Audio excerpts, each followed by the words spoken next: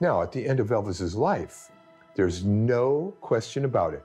He was on the verge and made plans to fire Colonel Parker, to cut down his entourage to four to five people. He wanted an entire new career, a new life, a new lifestyle. And he was he got to a point with his life where he realized that he was taking medications and poison that was being administered to him by various doctors.